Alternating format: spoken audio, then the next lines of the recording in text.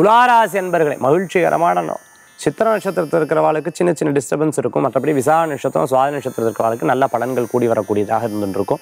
சில விஷயங்கள்லாம் மனசில் எடுத்துட்டு இருப்பேன் அதெல்லாம் நல்லபடியாக நடக்கணும் நடக்கணும் நடக்கணுங்கிற சிந்தனை நமக்காக இல்லை. நம்ம குழந்தைகளுக்காக நம்ம குடும்பத்துக்காக தாயாருக்காக தந்தையாருக்காக பிறர் முன்னாடி நம்ம ஜெயித்து காமிக்கணும் அப்படிங்கிற ஒரு எண்ணங்கள் இருக்கும். மனசில் ஏதாவது ஒன்று போட்டு ரொம்ப யோசிச்சுட்டு இருந்தல் பயந்துட்டு இருந்தால் அதை விட்டுருங்க.